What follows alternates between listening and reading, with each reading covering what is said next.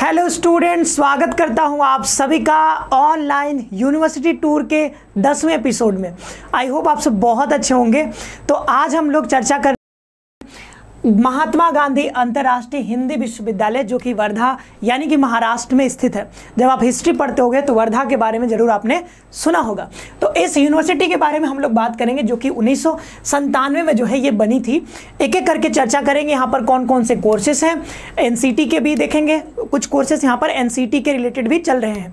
वो भी देखेंगे, और सी से रिलेटेड तो बहुत सारे कोर्सेस हैं। वो सारे कोर्सेस देन हम देखेंगे कितने उसके फ़ी लगते हैं। एलिजिबिलिटी क्राइटेरिया क्या है? सी में आपको कौन कौन से पेपर आपको ऑप्ट करने हैं। हॉस्टल देखेंगे, ठीक है? हॉस्टल की फ़ी कितनी लग सकती है? मेस फ़ी और साथ ही साथ एकोमोडेशन का फ़ी कितना लगेगा? वो सारी चीज़ें यहाँ पर देख रहे हैं। फैसिलिटीज़ क्या क्या है, वो तो हम लोग देखते हैं हर यूनिवर्सिटी में इसमें भी देखेंगे। लेकिन आगे बढ़ने से पहले सब्सक्राइब करके बेल आइकन ज़रूर प्रेस करके रखिएगा, क्योंकि अभी और सारी यूनिवर्सिटीज़ आने बाकी है, ठीक है? तो सीरीज़ के साथ बने बने रहिए। स्टार्ट करते हैं, ओके? तो ये यूनिवर्सिटी है, ठीक है? बहुत अच्छी यूनिवर्सिटी है। हमने इसके बारे में बहुत सारा रिसर्च किया है, ठीक है? चलिए तो एक एक करके बात करते हैं इस बारे में। सबसे पहले इनकी वेबसाइट हम थोड़ा सा ओपन करके आपको दिखाना चाहेंगे। ये रही इनकी वेबसाइट, ठीक है? यहाँ पर जैसे ही आओगे, आप सर्च करोगे, ठीक है? महात्मा गांधी अंतर्राष्ट्रीय विश्वविद्यालय, ठीक है? हिंदी विश्वविद्यालय सर्च करोगे तो आप यहाँ पर आ जाओगे, ठीक है? मुख्य पृष्ठ पर आ सकते हो, ठीक है? और यहाँ पर आने के बाद फिर अगर आपको यहाँ पर चाहिए कि नहीं, हमको जो है, यहाँ पर जो है रजिस्ट्रेशन करना है। तो रजिस्ट्रेशन कैसे करोगे? तो रजिस्ट्रेशन करने के लिए इनके जो है, मुख्य वेबसाइट जो है मेन वेबसाइट यहाँ पे आने के बाद यहाँ पर आपको प्रवेश पर क्लिक करना है। प्रवेश पर जैसे ही क्लिक करोगे तो आगे यहाँ पर आ जाओगे। सबसे ऊपर देखोगे, प्रवेश हेतु पंजीयन करने के लिए यहाँ क्लिक करें। इनकी वेबसाइट पर लगभग सब कुछ हिंदी में ही लिखा है, ठीक है? अब यहाँ पर जैसे आ जाओगे तो नया रजिस्ट्रेशन यहाँ पर कर सकते हो। अब यहाँ पर ये दिख नहीं रहा है, ठीक है? कुछ देर पहले ये दिख रहा था, अभी डेट है, ठीक है? अभी बताएँगे कितने तारीख तक डेट है। वहाँ पर रजिस्ट्रेशन का दिख नहीं रहा, बट वो दिखेगा, ठीक है? चलो, आगे बढ़ते हैं। तो देख लेते हैं यहाँ पर कि कौन कौन सा यहाँ पे है। इसका पहले ये देख लेते हैं रजिस्ट्रेशन का डेट फिर हम लोग कोर्सेज पर आएँगे। तो ये कुछ ऐसा इनका कैंपस दिखता है। ये देख सकते हो बहुत शानदार सा कैंपस है। इधर देखो, ये सब देखोगे एरिया इधर शहर बसा हुआ है। शहर से थोड़ा सा बाहर, इधर की ओर ये आपका कैंपस है। बहुत हरियाली है, ठीक है? तो ये देखने के बाद आपको मन कर रहा होगा कि चलो एडमिशन ले लेते हैं हाँ? तो देख लेना अपना, ठीक है? अभी बहुत सारी चीज़ें जान लो, तब लेना, ठीक है? तो ये इनको जो है एन डबल ए सी द्वारा ग्रेडिंग मिला है ए का, ठीक है? तो इनका ए प्लस नहीं है, सिर्फ़ ए है ग्रेडिंग ओके आगे बढ़ते हैं। तो यहाँ पर देख लेते हैं, अब लास्ट में सॉरी लास्ट बोल दिया हमने। ये हमने यहाँ पर सूचना देख लेते हैं। तो इनका जो सूचना आया है, ये सूचना, ये बता रहे नोटिफिकेशन में कि भाई हमारा जो स्नातक कार्यक्रम 2024-25 वाला है, वो जो है हम सी के थ्रू जो है यहाँ पर जाकर के आपको ये सी समर्थ पर पंजीयन कराना होगा। और ये रजिस्ट्रेशन आप कराओगे कैसे? तो ये डेट दे दिया इन्होंने कि अंतिम तिथि जो है वो बारह अगस्त निर्धारित है, ठीक है? तो बारह अगस्त इज़ द लास्ट डेट तो सभी लोग जा करके यहाँ पर अपना रजिस्ट्रेशन करवा सकते हो। जिनको भी पढ़ना है। पहले देख लो कौन कौन से कोर्सेस है। अगर आप एलिजिबल हो देन आप डिसाइड कर सकते हो महाराष्ट्र में, ठीक है? तो जो जा सकते हैं वही, ठीक है? देख लेना एक बार। और तीन ठीक है एस सी के लिए पीडब्ल्यू के लिए और जनरल ओबीसी हो शायद तो यहाँ पर पाँच तो ये अपना देख लो और देन हम लोग स्टार्ट करते हैं आगे। तो अभी तक जिन्होंने नहीं करवाया, जिनको कराना है, जाकर के करवा सकते हो। कैसे करवाना है, वो भी बता दिया। आगे बढ़ते हैं। अब सबसे पहले कि यूजी में कौन कौन से कोर्सेस यहाँ पे चलते हैं। तो देख लो, सबसे पहली बात कि यहाँ पर जो है सारे कोर्सेस लगभग लगभग यहाँ पर देखोगे। मतलब एनईपी e मुझे लग रहा है कि ऐसा लागू हो चुका है। चार साल के कोर्सेस यहाँ पर दिए गए हैं। ठीक है? तो फोर ईयर यूजी प्रोग्राम यहाँ पर चल रहा है। इंटीग्रेटेड है। ठीक है? वही एनईपी e वाला सिस्टम यहाँ पे है। एनईपी e जो हमने बात किया ना न्यू एजुकेशन पॉलिसी यहाँ पर वन ईयर करोगे तो सर्टिफिकेट मिलेगा। ये क्या है कि मल्टीपल एग्जिट एंट्री ऑप्शन होता है इसमें। आप जो है, एक बार जाओ, एक साल पढ़ो, फिर बाहर चले जाओ। अगर मन कर रहा है तो चले जाओ, बाहर। ठीक है, मत पढ़ो दूसरे साल। दो साल बाद आओ, फिर से जो है दूसरे साल में डायरेक्ट पढ़ो। तो जैसे जैसे आप कंप्लीट करते जाओगे, दो साल पढ़ोगे तो डिप्लोमा तीन साल पढ़ोगे तो आपको बैचलर का डिग्री और चार साल कर लोगे तो आपको यहाँ पर bachelor of bachelor of honours की डिग्री विथ रिसर्च या फिर यहाँ पर रिसर्च वाला मिल जाएगा। वही कि अगर आप यहाँ पर सी जी बहुत अच्छा ला रहे हो तो रिसर्च वाले में आपको मिल जाता है। वो चीज़ यहाँ पे दिया गया, ठीक है? और देन आपको पीजी अगर चार साल करोगे तो पीजी आपको एक साल का ही करना होगा। तो आपके पास यहाँ पर ऑप्शंस मिल जाते हैं। तो ये चार साल का है। तो ये लिंग्विस्टिक यानी कि प्रोग्राम है भाषा विज्ञान का ओके तो इसमें सी में आपको कौन कौन सा पेपर आपने अगर ऑप्ट किया है तो यहाँ पर ये पढ़ सकते हो, यहाँ पे एडमिशन ले सकते हो। वो आपका हिंदी लैंग्वेज लेना होगा और जो यहाँ पर टेस्ट फ्रॉम सेक्शन वन है ठीक है? मतलब लैंग्वेज लेना होगा। और थर्ड से आपको यहाँ पर जनरल टेस्ट तो वही बात है कि 450 पर आपका यहाँ भी बनने वाला है, ठीक है? 450 पर यहाँ पर बनेगा। तो ये देख लो, यहाँ जनरल टेस्ट लेना होगा और साथ ही साथ हिंदी हिंदी और जनरल टेस्ट ओके अब यहाँ पर अगला है कि चार साल का ये भी है, ये है आपका लैंग्वेज टेक्नोलॉजी यानी कि भाषा प्रौद्योगिकी। इसमें भी आपको यहाँ पर हिंदी लैंग्वेज लेना होगा।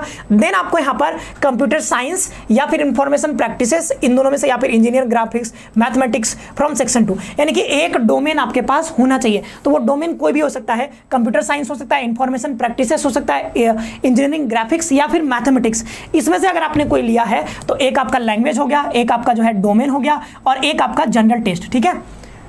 अच्छा यहाँ पर और लिखा हुआ है, ठीक है? यानी कि आपके पास ये कंपलसरी नहीं है। दूसरे सेक्शन से आप डोमेन में से ले सकते हो, नहीं भी लियो तब भी। अगर आपने जनरल टेस्ट लिया है तो आपका यहाँ पर काम हो जाएगा। तो यहाँ पर कुछ ऐसे आप समझो कि Hindi Hindi plus one domain, ये रहेगा, तब भी आपका काम हो जाएगा, हिंदी प्लस वन डोमेन। तो इसमें से कोई भी डोमेन, मैथ्स कंप्यूटर साइंस, इसमें से कोई भी, ठीक है? और हिंदी या फिर जनरल टेस्ट आपके पास है तो भी आप यहाँ पर एडमिशन ले सकते हो। तो आपके पास ऑप्शन यहाँ पर हो गए, ठीक है? कि अगर जनरल टेस्ट हिंदी है, तब भी, और जनरल टेस्ट नहीं भी है मैथमेटिक्स है, या फिर कंप्यूटर साइंस है इंजीनियरिंग ग्राफिक्स है तो भी आप यहाँ पर ले सकते हो। तो एक एक बार फटाफट से सभी लोग पढ़ लेना। सभी का लगभग यही है कि यहाँ पर हिंदी है, जनरल टेस्ट आपके पास है, ठीक है? ये हिंदी लैंग्वेज में, फिर संस्कृत लैंग्वेज में है कि आप हिंदी लैंग्वेज लिए हो, और यहाँ पर संस्कृत भी होना चाहिए, ठीक है? सेक्शन वन बी से संस्कृत भी। तो संस्कृत और हिंदी दोनों आपके पास होना चाहिए। मराठी लैंग्वेज में मतलब वही है कि हिंदी है और दिन दिन आपके पास मराठी होना चाहिए, दोनों होना चाहिए, ठीक है? उर्दू में आपके पास हिंदी होना चाहिए और आपके पास उर्दू होना चाहिए। तो ऐसे करके यहाँ पर बताया जा रहा है। इधर आप एलिजिबिलिटी देख सकते हो कि फिफ्टी आपके पास होना चाहिए। साइंस या आर्ट स्ट्रीम में अगर आपने पढ़ रखा है, ठीक है? टेन प्लस टू किया है तो और आपका पास S T S C O B C category है तो आप फोर्टी फाइव परसेंट में भी आपका हो जाएगा। और यहाँ पर लास्ट में इंग्लिश लैंग्वेज तो यहाँ पर हिंदी और इंग्लिश आपके पास होना चाहिए, ठीक है? ये सारे कोर्सेज हैं तो आई होप कि अब जो है, अगर मैं नहीं भी बताऊँगा तो आप देख के अपना समझ सकते हो। स्क्रीन लेना जिनको भी ज़रूरत है, अगर आप लेना चाहो तो ले सकते हो। जैसे फ्रेंच में आप लेना चाहते हो तो हिंदी लैंग्वेज चल जाएगा, ठीक है? और फ्रेंच लैंग्वेज तो फ्रेंच लैंग्वेज तो ट्वेल्थ में मतलब बहुत सारे बच्चे नहीं पढ़े होंगे, ठीक है? कहाँ पढ़े होंगे, ठीक है? अगर पढ़े भी होंगे तो बहुत कम लोग होंगे।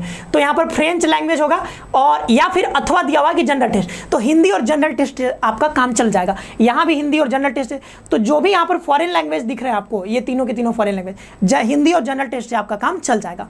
कंप्यूटर से यहाँ पर कंप्यूटर अगर कंप्यूटर एप्लीकेशन पढ़ना है तो हिंदी और यहाँ पर दूसरे में है computer science information practices engineering graphics या फिर मैथमेटिक्स में से कोई एक होना चाहिए आपके पास डोमेन मैनेजमेंट में, प्रबंधन में तो अब मैं क्या करता हूँ, आप एक बार देखते रहो फटाफट से, ठीक है? यहाँ पर और लिखा हुआ ध्यान देना। जनरल टेस्ट और हिंदी लैंग्वेज बस है आपका तो मैनेजमेंट में भी ले सकते हो। उसके अलावा अगर आपके पास डोमेन भी है तो अच्छी बात है, ठीक है? हिंदी और वही चीज़ है, ठीक है? सब में लगभग सेम ही है। Hindi general test Hindi general test और किसी किसी में डोमेन आ रहा है बस। चीनी है तो यहाँ पर हिंदी और जनरल टेस्ट से आपका काम हो जाएगा। इतिहास है तो हिंदी और हिस्ट्री से आपका काम हो जाएगा। हिंदी लिटरेचर है तो हिंदी और जनरल टेस्ट से आपका काम हो जाएगा। सोशियोलॉजी है तो हिंदी और सोशियोलॉजी या फिर एंथ्रोपोलॉजी कोई लिया है तो काम हो जाएगा। संस्कृत लिटरेचर है तो इसमें आप हिंदी और आपको संस्कृत लेना होगा। पोलिटिकल साइंस में हिंदी और आपके पास पोलिटिकल साइंस होना चाहिए। मराठी में आपके पास हिंदी और मराठी होना चाहिए, ठीक है? तो ये अगर आपने ऑप्ट किया है सी में तो आप यहाँ पर एडमिशन ले सकते हो। तो वही लगभग वही है, जैसे साइकोलॉजी है तो यहाँ पर साइकोलॉजी आपके पास होना चाहिए, या फिर जनरल टेस्ट भी है, तब भी काम आपका चल जाएगा। वही आप क्या करो एक एक बार यहाँ पर देख लो। सबका पढ़ना ज़रूरी नहीं है एक एक बार देख लो कि आपका काम यहाँ पर हो जाएगा। चाहो तो आप यहाँ पर आ, स्क्रीनशॉट भी ले लेना। सब में वही है, हिंदी जनरल टेस्ट और जो डोमेन दिया हुआ है, वो डोमेन होना चाहिए, ठीक है? चलो तो ये सब यहाँ पर, ये सारे कोर्सेज चलते हैं, ठीक है? ट्रांसले ट्रांसलेशन स्टडीज़ फिलोसफी बहुत सारे कोर्सेज है ओके जैन स्टडीज़ भी होता है हिंदू स्टडीज़ भी है, जो कि बीएचयू में भी अवेलेबल है, ठीक है?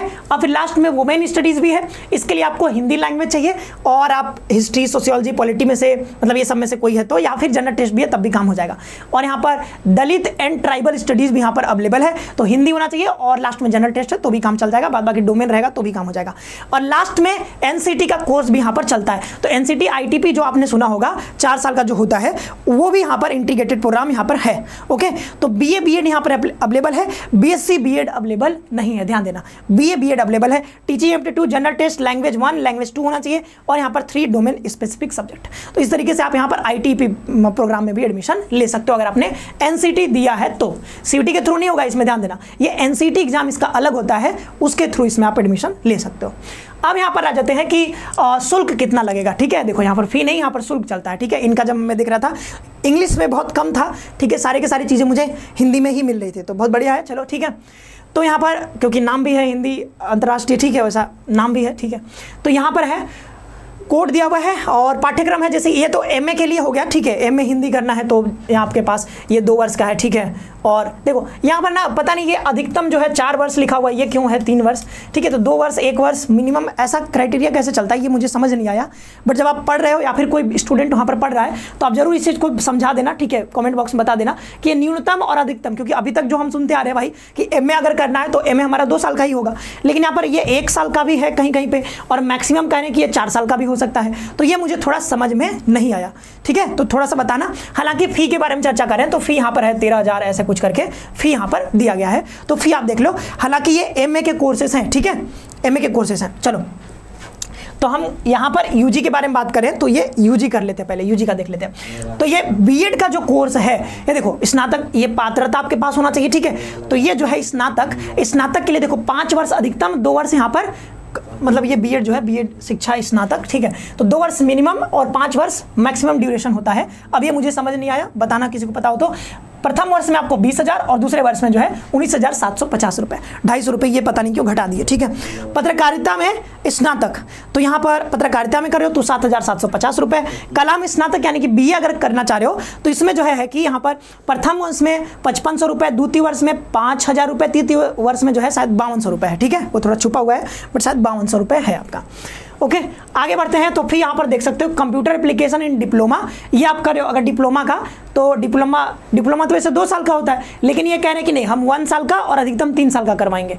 छः हज़ार रुपये यहाँ पर लगेगा, ठीक है? और ये कार्यक्रम छः माह का डिप्लोमा है, ये, ठीक है, देख लो, यहाँ पर छः माह का मिनिमम एक साल का अधिकतम। तीन हज़ार तीन हज़ार सब में फ़ी है, और ये गैर संस्थाओं के लिए निर्माण एवं प्रबंधन में प्रमाण पत्र, ये क्या होता है भाई, ठीक है, यहाँ पर दो हज़ार रुपये यहाँ पर इनका फ़ी है।